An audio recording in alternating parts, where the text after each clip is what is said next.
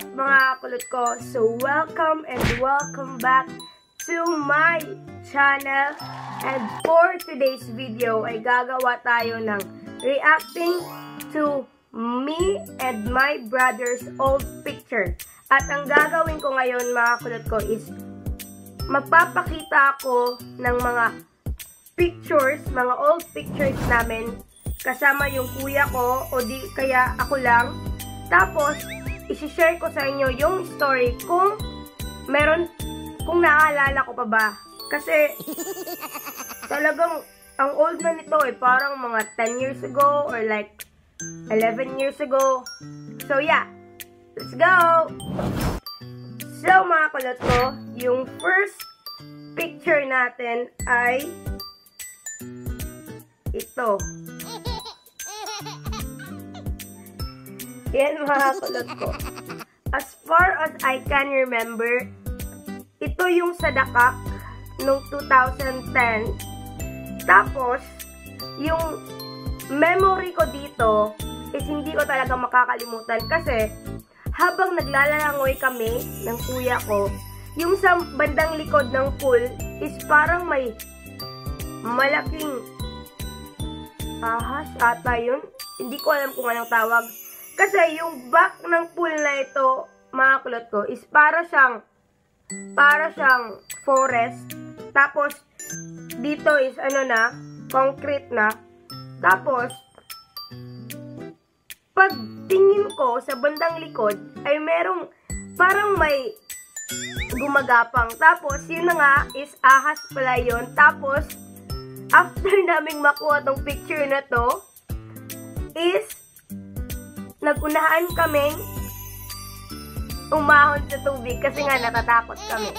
So yeah, this is our first old picture na pinakita ko sa inyo. So ang second is random lang po ito guys, hindi yung kung sino talaga yung una. Ito yung pangalawa 'di ba? Ang close pa namin dito. Aww. Hindi ko maalala kung anong year ito. Basta, ito yung doon pa kami nakatira sa sa sa Burgos. Oo, doon. Yung first house namin. So, doon, doon to nangyari. Wala lang. Pinicturan lang kami nung si kuya. Yan. Yeah. Wala na maalala kasi ang liit-liit ko pa lang. Oh. Ito ako guys. Ito ako. Tapos ito yung kuya ko. So, the third picture is this one. Natatawa sa sarili ko guys. So, ako to. Tapos, hindi ko ma-remember kung anong year. Basta ito yung sa shop namin. Ewan ko ba kung bakit ang hilig ko ng mga ganitong buhok-buhok. Yung, yung pinipin, tapos may kulay. Tapos ganito. ganito pa yung post ko. so, yan guys. Yung sa shop namin ito, noon. And, our fourth picture is, ito yung kuya ko. ba diba, layo-layo ng itsura niya ngayon. Kasi, guys, hindi talaga mataba yung kuya ko dati. As in, sobrang payat niya, guys. So, ito, hindi ko rin maalala kung anong year. Basta ito yung sa first house namin doon sa Burgos din. Yan. Ang payat-payat niya dyan. Tapos, yung fifth picture na ipapakita ko sa inyo is bakit ba ganito mukha ko? Guys!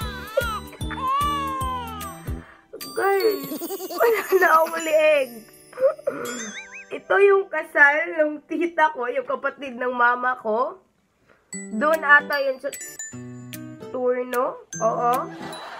Tapos, hindi ko na maalala kung anong year. Pero nga, oo, oh, flower girl ako, guys. Tapos, natawa ako. Kasi wala akong liig. Ang liit-liit ng liit ko, guys. Ewan ko na lang. Tingnan niyo mukha ko. so, guys, yung pang-anim na picture is ito. Diba ako yan, guys? Napaka-cute ko pa dati. Ewan ko lang ngayon. guys, oh. Hindi ko maalala kung kailan, oo, pero, natat ang, ang alam ko is nandito, ay is, nandi, an, nandoon kami sa, ay, itong pic na to, is nasa Jollibee kami, pero hindi to dito sa Dipolog. Feeling ko sa Cebu, oo, kasi noon palagi kami nangapunta doon. Oo, sa Cebu to. Tapos yung mami ko, tapos ako. Ay, girl. Ako umiiyak. Ewan ko, anong dahilan. Tapos, yung pang pitong picture is ito guys. Ako, tsaka yung kuya ko. Naalala ko pa to is ito is parang 2000 2000 7 ata guys. 4 years old ako tapos yung kuya ko is 6 ewan ko basta ito ay nangyari doon sa shop din namin yung may tindahan kasi yung mami ko dati yan kami yung nagbabantay pero kami din yung kumakain yan yung kuya at yung kuya ko at ako ewan ko ba kung bakit uso yung mga post natin ng mga,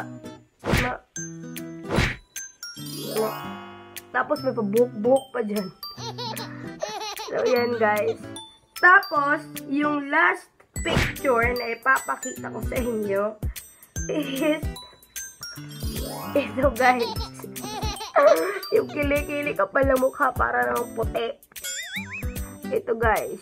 Ito is noong 2009. O, oh, nakalagay dito. 2009 yeah, 2009. Ito ay nangyari na dito sa house namin. Yung sa recent house namin, hindi yung sa una talaga, yung sa pangalawa. So, yeah, nakatanggap ako ng regalo. Kaya, hala, girl, post ka ng post. Oh, diba? Anong post niyan, girl? Oh, nagpakili-kili ka pa dyan. Oh, tingnan yung mukha ko, guys. May mga pin-pin pa dito. Ewan ko talaga. So, mga kulot ko, that is all for this video.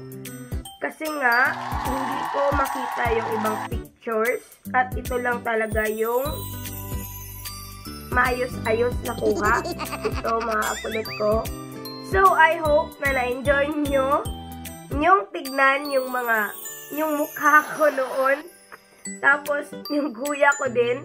At I hope guys na na-enjoy niyo tong video na to at meron kayong background na nalaman tungkol sa buhay ko o tungkol sa mukha ko noon. And guys, anyways pala, baka makalimutan ko naman, makalimutan, makalimutan, makalimutan na naman yung shout out. So guys, shout out pala kay Raymond Paiko, we miss you. We miss you, bro. Tapos, kay Icy Berago, yung cousin ko, na broken hearted. Girl, kaya yan. Tapos, kay Chea Gabriel, na cousin ko din. Tapos, kay Zaira Gumela, na nagpahiram ng power bank niya hanggang ngayon. Tapos, kay Shaira Iniego, TikTokerist. Tapos, kay Eric Columnas. Tapos, yung, oh, tapos si Lenny Robreda. Char. Si Lenny yung malon. Yung napaka-friendly. Nasa Hungarian din.